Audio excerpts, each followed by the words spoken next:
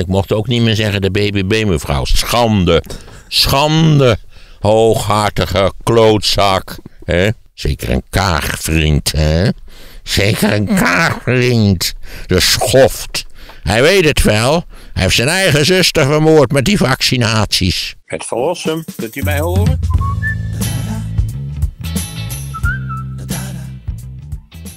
Want ik vergeet al die, vergeet al die plaatsen. Ja, moet je natuurlijk niet doen. Maar, er waren mensen die jou aanspraken. Ja, je wordt op de podcast word je veel aangesproken. Ja. Eh, ook meer dan op televisie. Dat wil zeggen, als de slimste mens draait, dan eh, is dat ook eh, vrij dominant. Maar de podcast is dat zeker ook. Maar je hebt in de podcast heb jij in principe 45 minuten per aflevering spreektijd. En bij de slimste mensen is het twee minuten. Het zal niet veel meer zijn meestal. Het kan iets meer zijn bij korte finales, Ja. zoals je weet. Maar zal meestal niet veel meer zijn.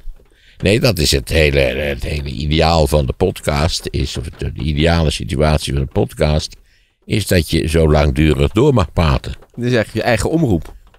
Ja, dat is, eigenlijk, dat is helemaal de kern van het podcastsysteem.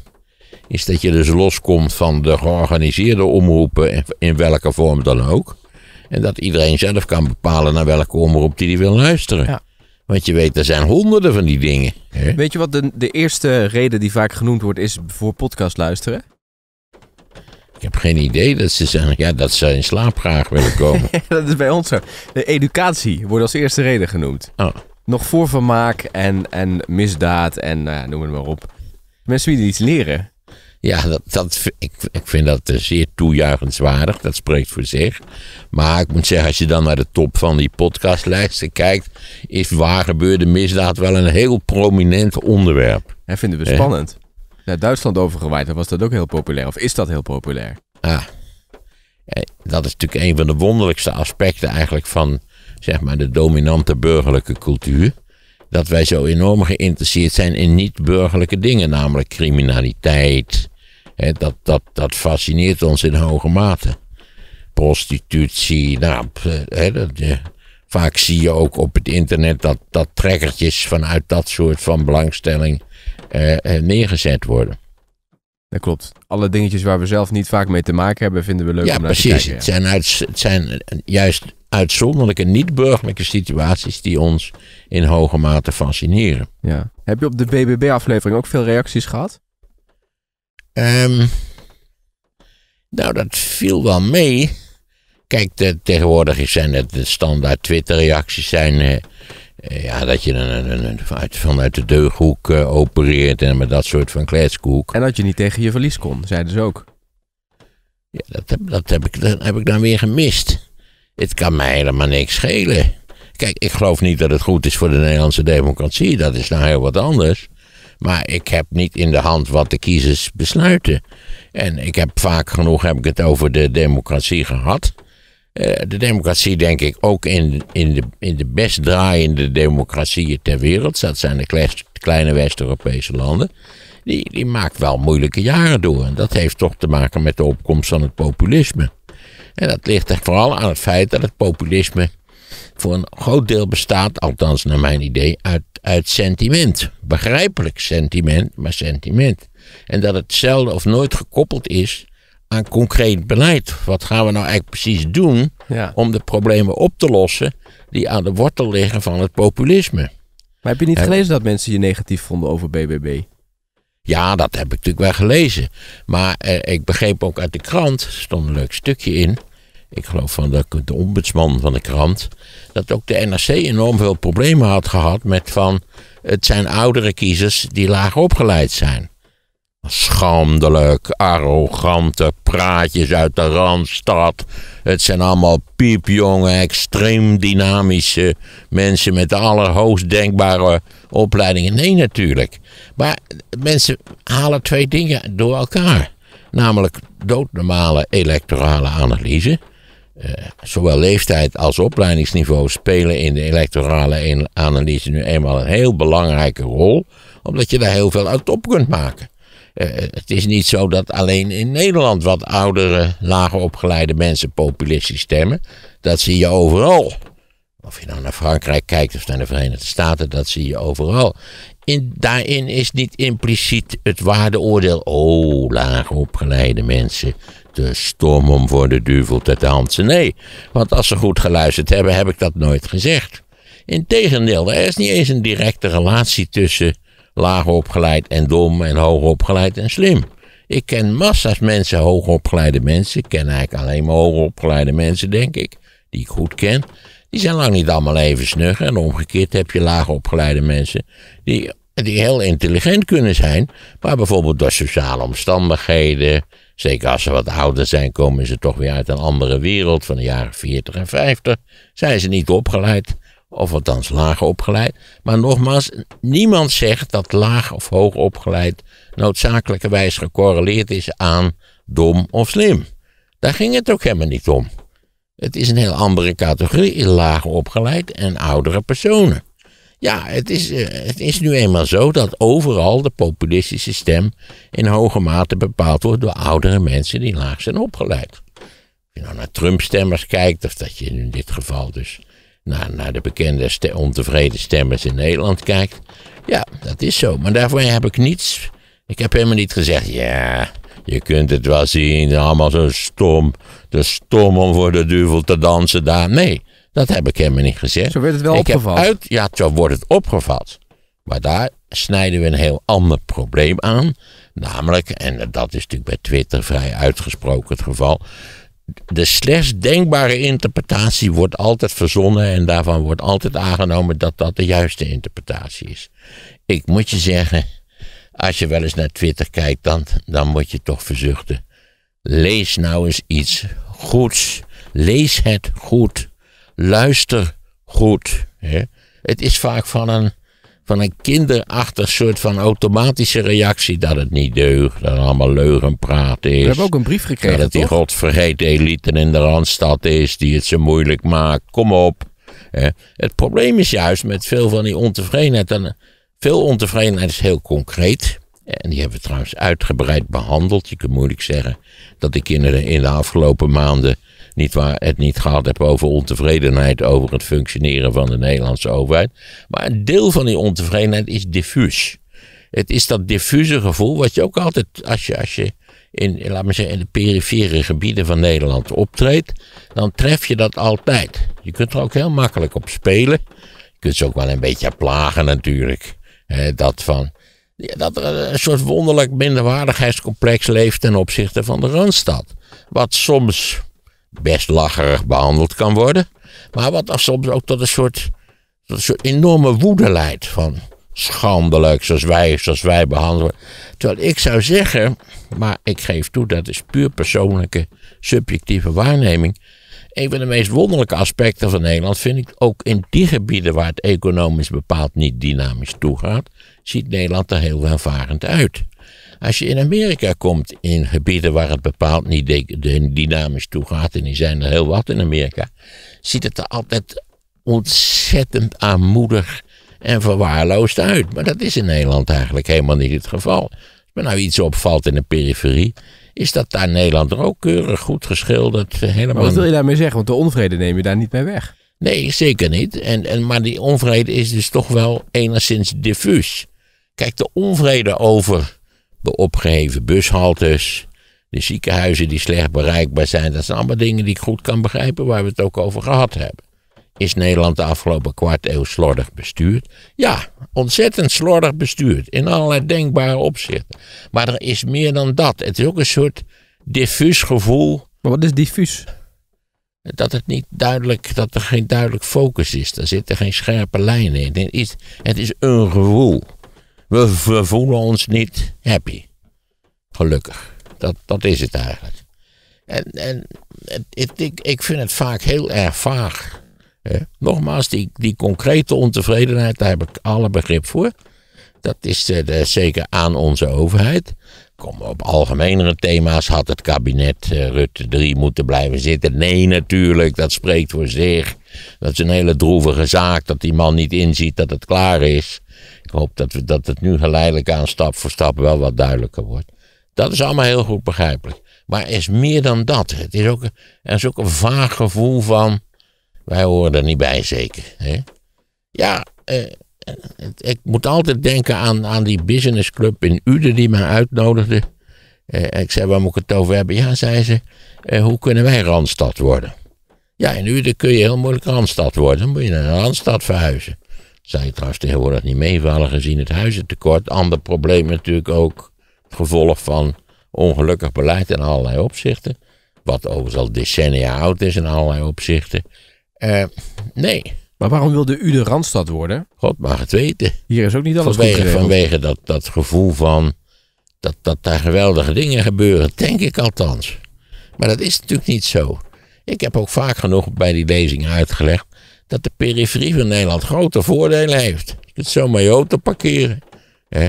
Tot voor kort waren de huizenprijzen natuurlijk ook nog wel te behappen. Terwijl dat in de Randstad al lang niet meer het geval was.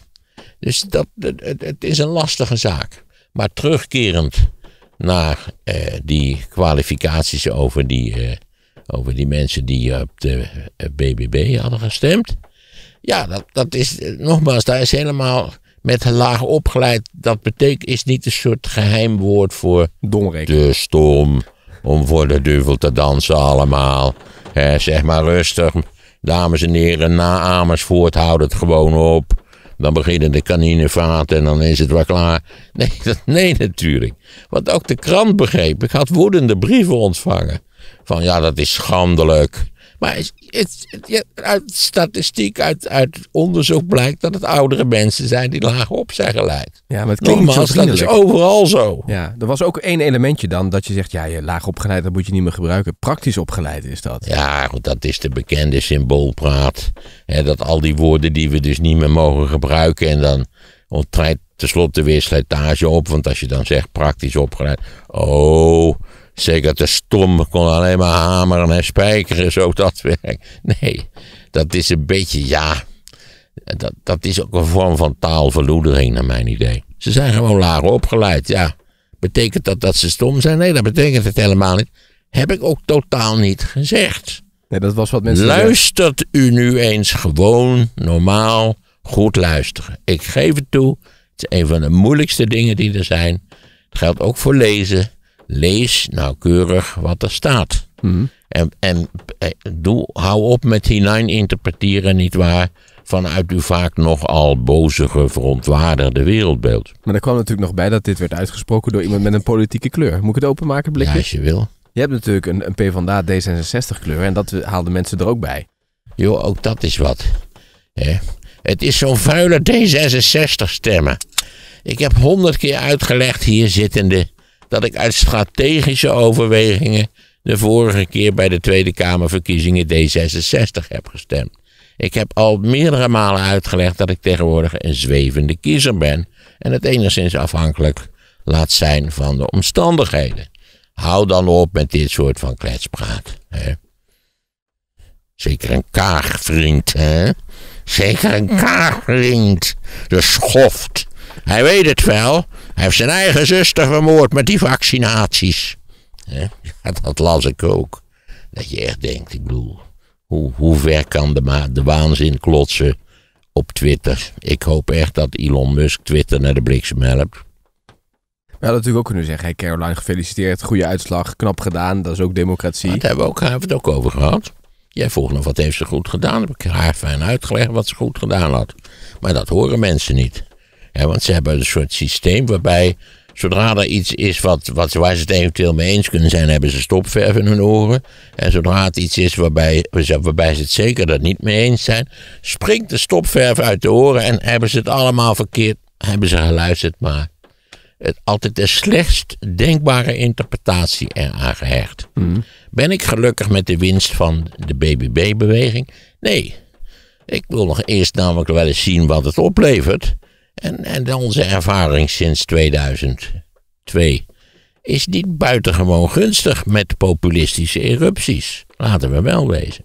Dit is overigens een hele interessante populistische eruptie, die aan een heel concreet punt gekoppeld is. Dat is ook wat we als waarderende woorden hebben gesproken over Caroline van der Plas. Niet waar, ik mocht ook niet meer zeggen de BBB mevrouw. Schande, schande, hooghartige klootzak. Hè? Dat je ook denkt, hoezo? Dat zijn niets hooghartigs mee bedoeld. Iemand zei, je zegt ook niet de VVD, meneer. Nou, dat wil ik best zeggen. Zullen we dat voortaan doen, VVD, meneer? ik ben heel wat kritischer geweest op Rutte dan op Caroline van der Plas. Laten we wel wezen. Waar had ik het over? Eh, De interessante eruptie. Populistische eruptie. het is gekoppeld, dat is wat haar, haar talent is geweest, als je dat dan zo noemen wil. Of, of het haar geluk is geweest, want de omstandigheden moeten natuurlijk meezitten. Dat het bij haar gekoppeld is aan een hele concrete zaak, namelijk de stikstofzaak. Dat is haar sterkste punt. Dan hebben we iets concreets. En het is haar zwakste punt, want uiteindelijk zal het stikstofprobleem moeten worden opgelost. Op een of andere manier. Er was ook een meneer die een brief die je mij toestuurde. Die, die van Rossum, die weet van niks. Die moet eens kijken naar die, naar die meneer De Vries in Wageningen. Dat heb ik gedaan. Wie is meneer De Vries en Wageningen? Ja, dat is een hoogleraar in de stikstofproblematiek, als ik het allemaal goed begrepen heb. Dus ik heb daarnaar gekeken. Waarom die briefschrijver mij daarop attendeert, dat begreep ik niet goed. Want meneer De Vries is nogal alarmistisch in allerlei opzichten. Dus dat die, die, ook die kritische depositieregels, die mogen absoluut niet van tafel af. In Brabant zijn dramatische gebieden waar onmiddellijk iets aan gedaan moet worden. Dat je denkt, zou die, briefschrijver, die briefschrijver eigenlijk goed gelezen hebben wat zijn held meneer De Vries gezegd heeft? Meneer De Vries heeft wel gezegd dat het de deadline er niet veel toe doet. 2030, 2035, 2033, dat maakt. Over de deadline heb ik niets gezegd. Ik heb alleen maar. Denk ik dat het veel uitmaakt of het het ene jaar of het andere jaar is? Nee, dat denk ik niet. Wat hebben we gezegd over de waarschijnlijke gevolgen van deze electorale eruptie? Namelijk dat er schroefjes aan het stikstofprobleem ongetwijfeld zodanig gedraaid worden dat op een reeks van terreinen concessies kunnen worden gedaan aan dit nieuwe electorale verschijnsel. Dat betekent helemaal niet dat we nu zeggen, nou, die stikstof. Dat is eigenlijk een schromelijk overdreven onzin allemaal. Dat zegt nee. de BBB ook niet, hè? Nee, nee, nee, nou, goed zo. Dat is ook, hier geldt ook nu, als de BBB-beweging, nietwaar, een, een factor van belang wil blijven in de Nederlandse politiek en niet op dezelfde wijze wil verrafelen, aftakelen en, en laten we zeggen, het struikgewas wil verdwijnen zoals eh, de vorige electorale erupties. Want laten we wel wezen, eh, ja, Geert is een blijvertje gebleken, maar wat hebben we aan Geert? Niks. Hij moet toch zelf ook s'nachts wanhopig wakker worden en denken: hoe lang moet ik dit nog doen, dit klote werk? Ja, mijn invloed is nul. Ja, hij heeft een electoraat wat, wat, waar hij redelijk op kan rekenen, hoewel hij ook fors verloren had aan de BBB-beweging. Maar eh, als zij een blijvertje willen zijn, dan is dat als je het politieke systeem in wil groeien, zul je bereid moeten zijn om compromissen te sluiten. Eh, De hele Nederlandse politiek is in essentie een systeem waarbij mensen die het niet met elkaar eens zijn, compromissen sluiten. Om tenslotte toch tot enig serieus en nuttig beleid te kunnen komen. Dat dat beleid in de werkelijkheid de afgelopen twintig jaar vaak niet erg nuttig is geweest, daarover hebben we het uitgebreid gehad. Een mooi voorbeeld is nu eh, Brabant, hè, waar ze aan het onderhandelen zijn. Waar de VVD graag wil dat die eh, vloeren in die stallen dat die dicht wordt, hè, zodat die gassen niet kunnen ontsnappen. En de BBB zegt, nou dat moeten we niet meteen doen. Laat die, die vloer lekker liggen. En Nou, ik begreep sowieso dat de meeste van die maatregelen, hè, ook dat wassen en zo, dat dat eigenlijk niet zo verschrikkelijk veel oplevert. Hm. Maar, daar Maar zie ik, je, heb daar, ik heb daar geen verstand van. maar hier zie je dus dat er een compromis gesloten moet worden. Want BBB is ook in Brabant de grootste. VVD daarna is wel nodig voor de meerderheid. Maar moeten ze het wel eens worden. Ja, zo is het. Nou goed, ze kunnen ook ik, helemaal ik over... neem aan dat de VVD in Brabant niet alles weg wil geven. Die zullen misschien een stap verder willen gaan dan het kabinet. Maar ja, daar zit ook nog een kabinet. Nu is ineens de algemene opvatting dat het er niet lang zal zitten. Dat weet ik nog niet zo net eerlijk gezegd. Je zou wel gek zijn als je nu Tweede Kamerverkiezingen zou beginnen. Zou ik denken bij mezelf. Ja, maar ja, D66 heeft wel heel duidelijk gezegd 2030, daar houden we aan vast. zo goed als alle anderen zal ook D66 bepaalde concessies moeten doen. Maar ze denken natuurlijk ook wel aan de volgende verkiezing. Als ze dat nu doen, worden ze dan falikant afgerekend daarop. Ik heb geen flauw idee. Want de stemmers op D66 zijn het hiermee eens. Die zeggen 2030, zo, liefst nog eerder. Er zijn ook milieupartijen die echt ja, nee, dat lijkt mij dan weer heel onverstandig om je daarop vast te leggen. Ja, iedereen voelt aan zijn water of het nou 2032 is of 2035. Of 2029, dat doet er allemaal niet veel toe. Het is een probleem wat opgelost moet worden. Waarvoor wij, we weten trouwens vrij redelijk hoe we het moeten oplossen. Hm. De NRC had een heel, heel onderzoek van, van eh, eh, supervervuilers eh, in, in, eh, aan, de, aan de randen van Natura 2000 gebieden. Nou, daar word je niet vrolijk van. De meeste van die lui waren helemaal niet van plan om zich uit te laten kopen. Eh, rijst aan de horizon nu toch weer het, het, de euveldaad van de gedwongen uitkoop. Maar je haalt de angel er eigenlijk dus een beetje uit door te zeggen, nou D66 ziet zo meteen ook wel in dat of het nou 2030 of 31 is, als het er maar komt. Kijk, waar we nu aan bezig zijn, is de fase van het. eh, de, de verkenners zijn bezig in het land. We zijn nu bezig aan, aan het formuleren van waar, onze, waar het, het compromis ligt. Dus dan ga je niet meteen, met- als D66 zeggen, ja, kan ons eigenlijk ook geen bal schelen wanneer het is. Nee, die willen natuurlijk zoals de, huid eh, van de beer eh, duur verkopen. Dat begrijp je wel. Maar ik neem aan dat het tenslotte zal tenslotte zal een compromis moeten worden gevonden. Je hebt ook die fantastisch zeggen, ja, waarom hebben we het eigenlijk in Nederland altijd over stikstof? We hebben de rest van Europa hebben het helemaal niet over stikstof. Nee, dat klopt. Wij zijn namelijk een piepklein land wat de tweede voedselexporteur ter wereld is. Misschien is daar, bestaat daar een relatie. eh, Nou ja. En iedereen weet, ja, dat is ook waar, dat het beleid van de overheid ter zake natuurlijk eh, een rommeltje is. Onzeker, vaag. Ja, dat is heel ongelukkig. En er is een link Maar met dat sluit aan bij een ander probleem. Namelijk het ontzettend slordige beheer van Nederland door onze eigen overheid in de afgelopen twee decennia. En er is een link met het bouwen, hè? want eh er kan nu niet gebouwd worden. Nee, en dan moeten we, moeten, wat is het, een miljoen huizen gaan bouwen. Dus het hangt eigenlijk wel met veel facetten hangt het samen. Ja, het- het- laten we zeggen, het hangt met één zeer dominant facet samen. Namelijk dat Nederland een piepklein land is. Waar, als alles eh, gaat zoals het voorspeld is. Ik meen dit jaar of volgend jaar 18 miljoen mensen wonen. Je kunt ook zeggen, God en België hebben ze allerlei problemen niet. Nee, dat klopt. België heeft zijn bevolking niet verdubbeld in de afgelopen 70 jaar. Dat hebben wij wel gedaan. Je hoort al op Twitter. Weet u hoe dat komt, meneer Van Rossum? Eh, ze staan aan de grenzen te trappelen. Dat zijn allemaal broodrovers. Dat zijn, nou, hè? dit werkt. Nee, dat hebben we vooral te danken aan een uniek hoog geboortecijfer tussen 1946 en 1966. Is dat zo? Jazeker, wij, wij waren volstrekt unieke demografische Ja, uitzondering. dat heb je al eerder verteld. Maar er komen natuurlijk ook best wel veel mensen hier. Tuurlijk, er zijn ook immigranten, zonder meer. Nou ja, kijk, als Europa het zou moeten hebben in de komende halve eeuw van zijn, van zijn eigen bevolking, eh, die krimpt in een vrij hoog tempo. Ja, maar dan geldt het dus ook voor Nederland. Dus dan komt het toch ook In Oost-Europa is het nog helemaal beangstigend hoe snel het daar. En wat ze altijd net doen alsof ze niks voor Tim. Eh, Daar werken dan die Oekraïners, die gaan allemaal in Oost-Europa werken. Het schuift steeds een land op, Dit- hè? precies, het is een soort schuifsysteem. Ja. Hè? Ja. De Polen komen hier naartoe, ja. In Polen, een land niet waar, waar de voortplanting miserabel klein is, eh, komen dan dus mensen uit, eh, uit- vanuit het oosten om daar die, die werkplaatsen over te nemen. Dus er moet uiteindelijk een land zijn, of landen, waar, waar mensen massaal wegtrekken. Wat leeg achterblijft. Ja, en dat klopt.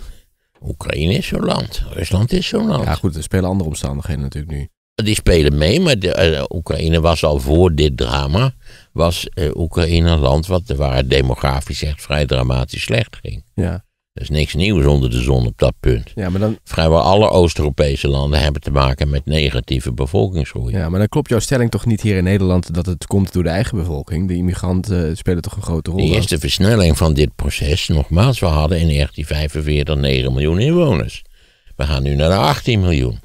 We hebben tussen 1946 en de late jaren 60, daarna houdt het ook grotendeels op, hebben wij ons voortgeplant. Nou ja, laat ik het voor de aardigheid maar zeggen als de konijnen. Hè, tot verbazing van velen. Mensen begrepen het. van Ierland en de Verenigde Staten hebben ook een, een babyboom gehad. Maar bij ons was het wel vrij indrukwekkend, ja.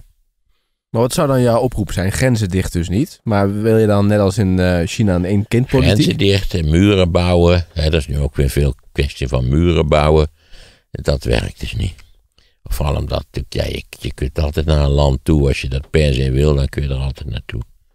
Ja, er zijn natuurlijk in de loop der jaren En ze is overal geprobeerd om, om onwenselijke immigratie te stoppen.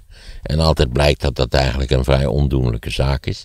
En dat immigratie vooral gerelateerd is aan natuurlijk om uh, ellendige situaties in het omringende gebied. A.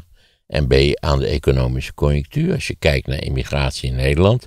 Laten we zeggen, nou, in de, in de, de, de ruim twee decennia van de nieuwe eeuw. Dan zie je ook dat het een beetje een golfbeweging is. Gaat het heel slecht in West-Europa, dan houdt ook die, die immigratie houdt op. Soms wordt die zelfs negatief.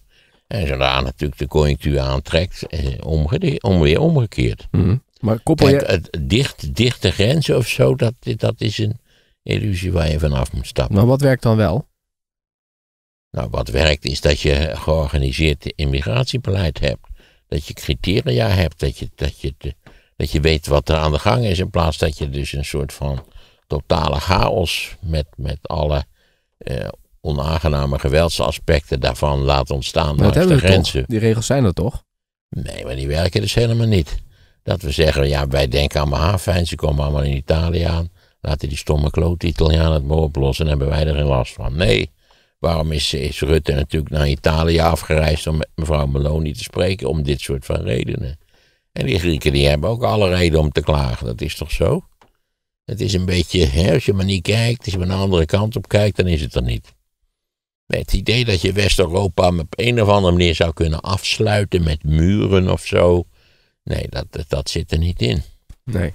Of je moet bereid zijn tot moord op grote schaal. Dat zou misschien iets anders zijn. Nogmaals een keer terug naar het kernprobleem van Nederland. Dat er namelijk dat we ontzettend veel mensen hebben op een relatief kleine oppervlakte. Mm. Het kan overigens nog veel erger. En dat, dat heeft ook. De, waarom is ook de Nederlandse uh, denk ik, economie succesvol?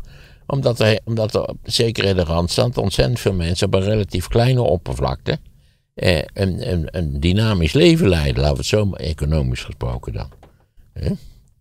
Ik heb je toch dat voorbeeld gegeven van het gebied boven Hongkong. dat is ongeveer de helft van de omvang van Nederland. Daar wonen 62 miljoen mensen. En dat is het meest productieve gebied ter wereld. Mm. Nederland is eh, economisch gezien een enorm succes. Mm. Ja, maar economisch, qua economie eh, doen wij het prima. Ja. Sterker nog, we hebben de laagste jeugdwerkloosheid van Europa. We hebben een hele lage werkloosheid toekoer. Dat is allemaal geweldig. Dat betreft, alleen laten we zeggen, het verzorgend apparaat, de, sociale schil, of hoe je het precies beschrijven wil, daar, daar is veel mee mis. En dat is nogmaals onze, onze, eh, de eigen schuld van de regeringen die wij gehad hebben in de afgelopen kleine vier decennia. En dat kan anders en beter. We hebben het geld ervoor. Om dan te gaan roepen, alle belastingen moeten omlaag. Hè. Allemaal, kan niet schelen wat, allemaal omlaag. Dat is het VVD-gevoel. Schippers in de bocht. Wat zou je advies zijn voor die partijen die met elkaar gaan praten? Om te kijken, hoe, uh, wat is ons standpunt? Hoe gaan we door? Nou, dat je niet fanatiek moet zijn op die punten die, die er niet zo verschrikkelijk veel te doen. Dat je dat, hè, bijvoorbeeld de deadline, ja. Die deadline nou uh, twee of drie jaar verder valt, hoe cares zou ik... Daar is ruimte dus. Daar is ruimte voor. En ik denk dat je, dat je een goed beleid moet ontwikkelen ten aanzien van uh, met name dus de, de, de aanpak van, van die uh, grote stikstofproducenten, uh, daar waar het ook daadwerkelijk hele negatieve gevolgen heeft. Dat is niet overal zo. Hè? En je kunt misschien technologisch nog wat aan de knoppen draaien, dat weet ik niet precies. Maar ja, ik, ik ben, ik, er zullen, naar mijn gevoel, op sommige plekken, er zal wel degelijk sprake zijn van gedwongen uitkoop. Mm biedt die mensen dan een perspectief. Want dat is natuurlijk het probleem. Dat de overheid zelf, zoals gewoonlijk, weer allerlei vaagheid en uitstel. En eh, jarenlang gedacht, als je nog maar een boompje plant, dan kwam het allemaal in orde. En nou, ook aan die boeren is veel te weinig perspectief geboden. En te weinig zekerheid. Hè? Dat je als boer denkt, ja, hoe gaat dat dan? Met een gekke kaartje en wat ineens uit de blauwe hemel kwam vallen. Nee, het is, het is beleidstechnisch. Je moet weer denken. Jij rijdt altijd op de grens van de mogelijkheden. Nee, dat is, dit is de, de eh, CNG die op is. Oh. Die geeft hij aan. Dat is het gas. En er zit ook benzine in. Heb ik al eens verteld, hè? hoe Ja, dat is waar, dat is waar ook, ja. Maar, dit, maar de on, dit is dus het goede van de democratie. Dat dus de onvrede die er dus geuit is, dat dat nu dus in beleid... Ja, het, het, want hoe zou het anders moeten? Voordat je het weet, krijg je opstand. Hè? Eh, kijk naar Frankrijk, waar, waar natuurlijk nou heeft Frankrijk een lange, lange traditie op het punt van aanbok maken natuurlijk. Want ik zou zeggen, je weet dat, dat dat hele drama is daar gekoppeld aan de verhoging van de pensioenleeftijd van 62 naar 64. Onze leeftijdsgrens is 67 en drie maanden. Hè? En dan komen die Fransen, ja, die komen in opstand. Die, het, het lijkt mij dat technisch, financieel, technisch en economisch gezien Macron natuurlijk het grootste gelijk van de wereld heeft. Maar kennelijk wordt dat gebruikt voor, door de bonden, neem ik aan, en maar alle anderen, niet waar, om, om, eh, om amok te maken. Het lijkt mij eerlijk gezegd enorm kortzichtig. Nou moet ik zeggen dat demonstreren in Frankrijk eh, weer heel wat anders is dan in Nederland. Wat is het verschil? Er kwamen ook best veel vragen over binnen van mensen die zeggen... Hoe kijk je daar nou naar, Maarten? Eh, nou, ik moet zeggen, in dit geval kijk ik er vrij eenzijdig naar, in, omdat ik van mening ben dat Macron het grootste gelijk van de wereld heeft. Trouwens ook zijn minister, die op zichzelf een betrekkelijke dorre en, en brave figuur lijkt, die was ook bereid om dat eh, uit te voeren. Maar er is natuurlijk ook veel ongenoegen. Maar je ziet ook, A, het probleem natuurlijk dat je met een gekozen president zit die, die losgekozen is van je volksvertegenwoordiging. Hoogst ongelukkige constructie in alle opzichten. Je zit in Frankrijk met een lange, lange, lange traditie van amok maken. En je zit in Frankrijk met het ook waarschijnlijk daaraan gerelateerd aan keihard ingrijpen door de politie. Waar, massaal tegen, en wat ik er zo van gezien heb, wel terecht tegen geprotesteerd wordt. Dus het is ook in die zin wel afhankelijk van beide partijen. Maar laten we zeggen, eh, gerekend tegen een wat langere toekomst. Hè, en en eh, eh, het grotere kader van het financieel beleid lijkt me dat Macron de grootste gelijk van de wereld heeft. En dat is gerelateerd aan het feit dat net als elders in West-Europa natuurlijk de bevolking in een hoog tempo veroudert. Dat is dus wat je zegt. Dus wat je ziet in 10, 15 jaar is dat je veel meer ouderen hebt en veel minder werkenden die dan de pensioenen van die ouderen moeten opbrengen. Bovendien, net als in Nederland, denk ik eerlijk gezegd, zullen de meeste mensen, niet waar, die, die, eh, ja, die, die, dat zijn geen tegelzetters en stratenmakers. Ik heb trouwens gezien dat je apparatuur hebt, daar komt- geen stratenmaker meer aan te pas. Dan wordt, er worden al die stenen in het reeds bestaande patroon opgetild en gewoon neergelegd. Maar mits de grond een beetje voorbereid is. Maar goed, even afgezien daarvan. Er zijn ook vaak technologische oplossingen voor dit soort van problemen. Ja, er zitten ook natuurlijk de meeste Fransen gewoon achter een bureau en een computerscherm. En daar lijkt het mij geen niet dramatisch om een paar jaar door te werken. Integendeel, ik heb altijd bepleit, laat mensen toch in godsnaam doorwerken. Hè? Dat was toch nu ook hier in Nederland de me- Ze waren helemaal niet geïnteresseerd bij de universiteit of de overheid, die natuurlijk de bovenste baas daarvan is, dat ik zou doorwerken 0,0 om een heel eenvoudige reden. Dat ik uit een oud tijdperk stam en relatief hoog betaald werd. Er zijn er toch veel mensen die nu met pensioen zijn... die dan eh, eigen ondernemertje worden, hè, omdat ze door willen werken. Ja, precies, omdat ze door willen werken. Dus maak daar gebruik van. Mhm. Hou op met die regelzucht. Maar dat, is hier in mensen- Nederland, hè? In, in Frankrijk is de Dat is in mentaliteit... Frankrijk niet fundamenteel. Dat dacht je dat ze daar allemaal heel ander werk deden? Nee, maar Alleen maar druiven, druiven kweken. Nee. bij croissants bakken. Maar, ja, maar de, de mentaliteit is natuurlijk misschien wel anders daar. Nou, punt van amok maken is de mentaliteit een stuk anders in Frankrijk, ja. Frankrijk is natuurlijk een land van stakingen en betogingen. Maar wij zullen denken, we maken ze zich druk om. traditie, Want wat? is, wat wordt het nu de pensioenleeftijd na de plannen van Macron? Waar gaat het naartoe? 64, En het was 63. 62. 62. Ja, dan zou je zeggen, we maken zich druk om. Ja, Ja, dat zou je inderdaad zeggen. vanuit ons maken- perspectief natuurlijk. En, en dat stond, ik ben nou vergeten waar dat eigenlijk de meeste van die lui ook wel weten. Dat, dat, het, dat het volstrekt onredelijk is om op, voor dit soort van zaken. Maar dat, nou, ook vaag ongenoegen. Macron, arrogante flikker. Nou, hij had het Ja. er doorgedrukt, hè? dat was natuurlijk de grote kritiek. Ja, want anders had, hij het er niet, anders had hij het er niet doorgekregen. Omdat hij de stemmen niet had, ondanks het feit.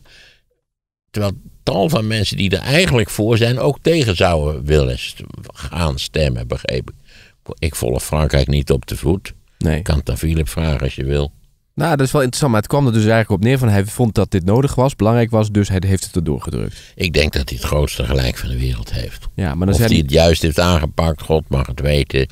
Maar het idee natuurlijk dat je een pensioenregeling hebt waar mensen op hun 62 met pensioen gaan, sorry hoor.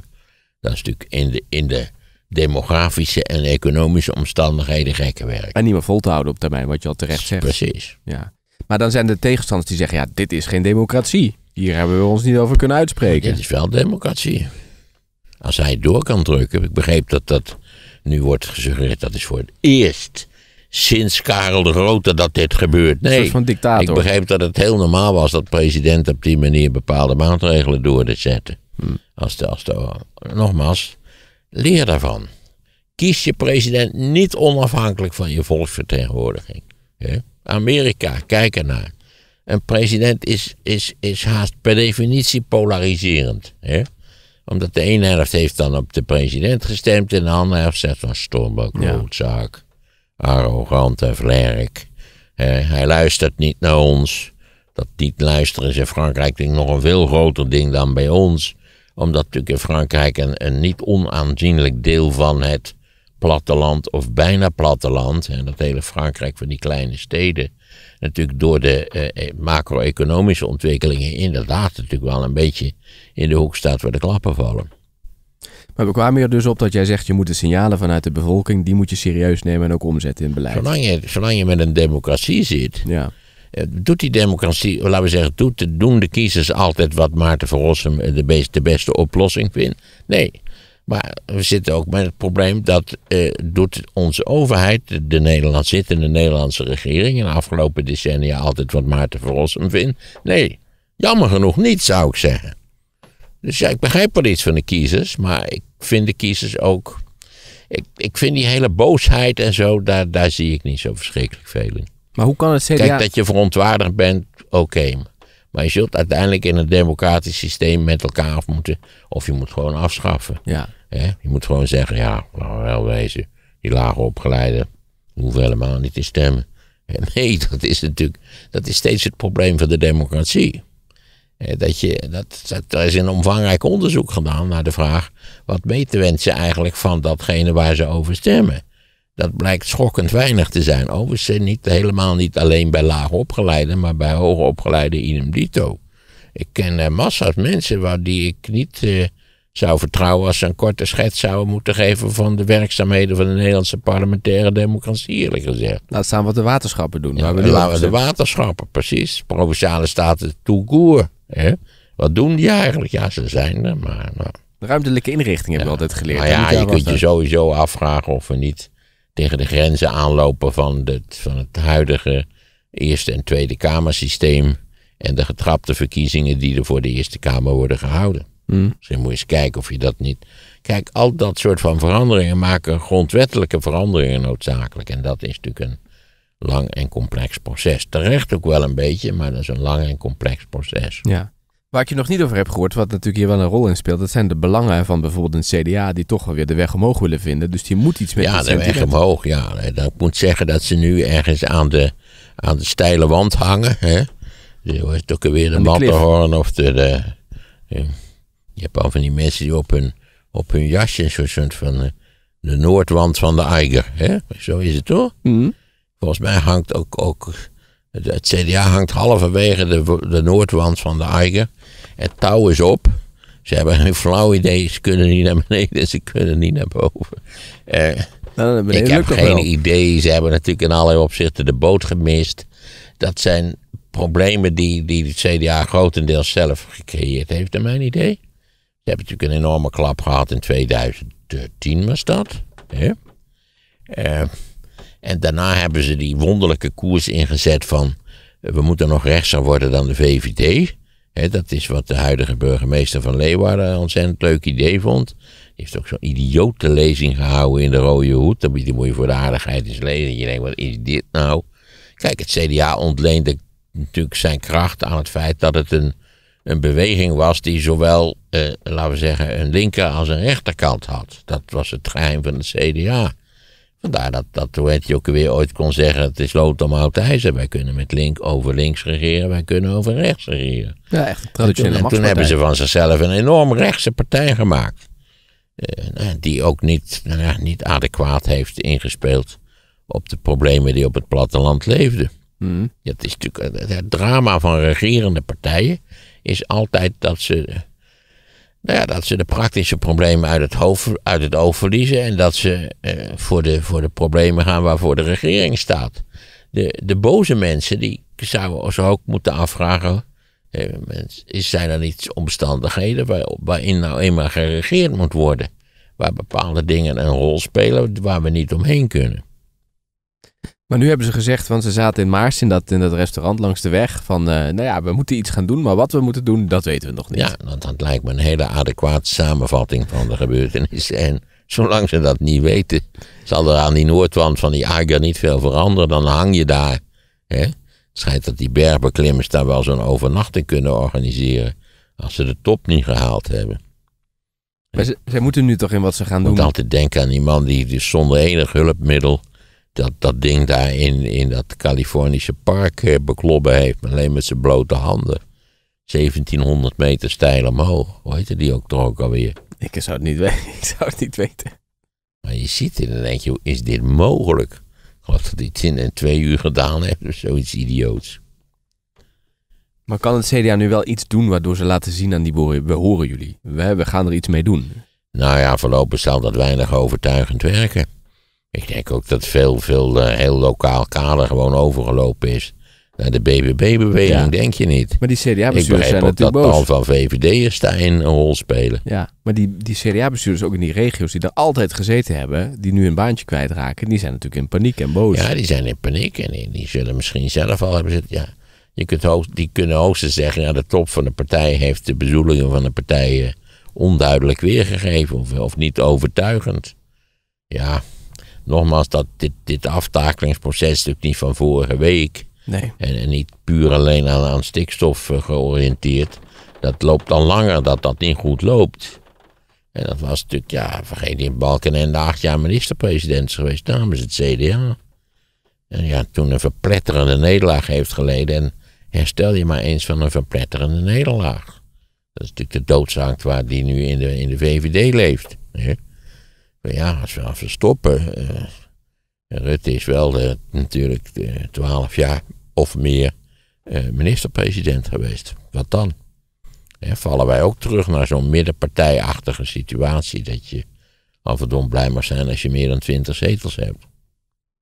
En nu hebben ze er nog eh, 38, geloof ik. Ja, dus de antwoorden Kijk, hier... ja, dus de versnippering, dat is natuurlijk een ander eh, probleem. Die versnippering, daar worden we niet gelukkig van. En het is ook voor het bestuur is dat een, een hopeloze zaak.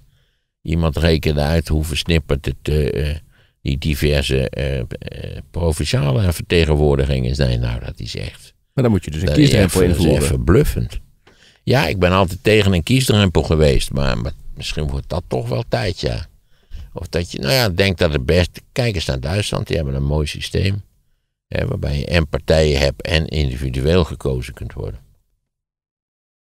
En hoe werkt dat dan? Heel ingewikkeld. Ja, maar moeten we dat wel willen dan? Ik wil het best volgende keer uitleggen hoe het werkt. Maar het is heel Dan ingewikkeld. moet je het eerst even opzoeken. Nou, het werkt in Duitsland prima. Hm. Maar ja, Duitsland heeft natuurlijk gewoon een soort eh, systeem opgelegd gekregen na de Tweede Wereldoorlog. Ook dat de Bundesländer zo machtig zijn. Wie heeft dat bedacht dan? Waren dat de, de, de, de externe partijen die daar toen de Eh, macht Deels had? de bezetters natuurlijk. Ja, de, de Russen dachten daar heel anders over. Maar die hebben natuurlijk in hun eigen bezettingszone ook wel een potje van gemaakt, laten we wel wezen. Maar ja, de kindercrashes waren goed in orde. Dat was dan zo'n beetje het enige. Ja. Wil je nog iets eh, zeggen over brieven die over dit onderwerp zijn binnengekomen? Nou, ook daar zou ik zeggen, luistert goed. Hè. Had je die man nog gezien? Hou Die, op. die man die niet meer ging luisteren, die het had opgezegd? Dat weet ik niet. Oh, dat is waar ook. Ja, wat had hij ook weer gezegd? De godvergeten... Nou ja, dat woord had hij geloof ik niet gebruikt. De, de arrogantie, de, de... Luisteraar minder, Ja. Ja, wat zal ik zeggen? Je ziet ook nu weer... Wat mij natuurlijk eh, direct deed denken aan het uh, fortuinfenomeen. Dat als je dus iets kritisch zegt over de nieuwe Messias, nou, dat kan echt niet. Hè. Dit is toch zo. Mensen raken dan toch licht geobsedeerd door zo'n Messias. Ik gebruik het woord niet toevallig. Door, omdat ze het gevoel hebben dat die persoon ons kan redden uit de nood waarin wij geraakt zijn. dat, dat is eigenlijk het idee wat leeft. Ja, dat is een ingrijpende misvatting in een zo complexe democratie als de onze. Je zult op een of andere manier, als je die democratie niet wil afschaffen, zul je met al die andere partijen in overeen. Ik had geloof ik ook gezegd dat voor schande, schande. Ja, meer dan driekwart van de kiezers heeft niet op de BBB-beweging gestemd. Ja, ik zeg, ik zeg dat nu. Je weet zeker. De, wat een klote streek om dat te zeggen. Hè? Alleen om ze kleiner te maken. Hè? Eigenlijk staat het hele volk pal achter Carolien van der Plas. Zo is het toevallig. Nee, dat is niet zo. Dat is heel vervelend, maar dat is niet zo. Dus je zult in een land waar driekwart iets anders heeft gestemd, zul je in goed onderling overleg tot een compromis moeten geraken. Ja. Als je dat niet wil, dan blijf je terzijde staan. Dat is het lot geweest van Geert. Dat levert ook weinig. Nou, natuurlijk de gekke partij, die, die is natuurlijk was stik, die heeft enorm verloren. Of als je denkt dat al die stemmen van de BBB-beweging van de Forum komen. Nee, ik begreep dat, dat maar een deel van de Forumstemmers daar naartoe is gegaan. En dat veel Forumstemmers kennelijk volledig gedesoriënteerd of teleurgesteld thuis zijn gebleven. Dus ja, nog maar kijkt u eens even naar de cijfers. Dat heeft allemaal niets te maken met hooghartigheid. We had die meneer het ook over ressentiment. En BBB-afkeer? Kijk, ik ben wel de laatste die, die last heeft van ressentiment. Ook geen afkeer? Ik heb ook geen afkeer, nee. Ik moet je zeggen dat mijn enige confrontatie met Caroline van der Plas, wat mij betreft, een bijzonder ongelukkig licht wierp op haar gedrag. Dat wel. Dat vond hij kennelijk ook schandelijk. Kinderachtig. Wat een kinderachtige klote streek. Hè. Je ziet toch dat zo'n mens die gaat toch het vaderland redden. Ja, ik moet zeggen, er zijn voor u tal van prachtige andere podcasts, vooral over eh, waar gebeurde misdaad. Misschien is dat iets voor u. Weet u hoe dat komt, meneer Van Rossum? Eh, ze staan aan de grenzen te trappelen. Heb je de live podcast over de oorlog in Oekraïne gemist? Vervolgens word je eigenlijk uitgemaakt voor een randebiel die niet wist wat er aan de hand was. En dat vond ik zeker in het geval natuurlijk van Arend Jan wel heel vreemd. Aangezien hij vrijwel nooit gelijk gehad heeft. De live podcast is nu terug te luisteren als luisterboek. Tegelijkertijd hoef je dan weer niet meteen niet waar sidderend wakker te schudden, omdat je ook hebt gehoord dat het Russische leger geen kloot voorstelt en ook moeite zou hebben met Litouwen te bezetten. Geniet ruim twee uur lang van Maarten van Rossum op ouderwets studium generale niveau. De link naar het luisterboek staat in de show notes.